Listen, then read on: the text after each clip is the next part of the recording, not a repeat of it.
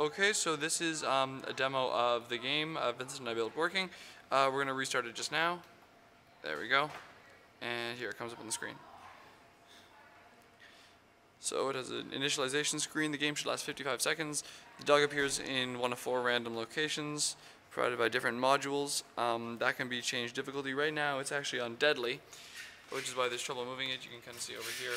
Um, the different levels of difficulty. I'm going to change it actually down to easy uh, to give you an example of what happens when you hit the dog a lot.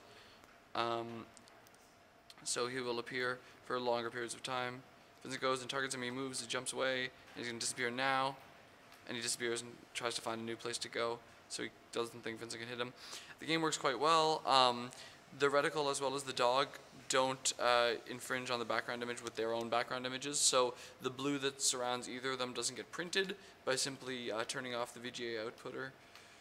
When printing, um, in this way you can actually see right through the blue space between the reticle lines um, and around the dog's arms and such. And the game over screen comes up and your score is displayed on the adapter. And Vincent actually got above uh, 15, which is why it's back to zero in terms of score. Um, so I guess there you have it.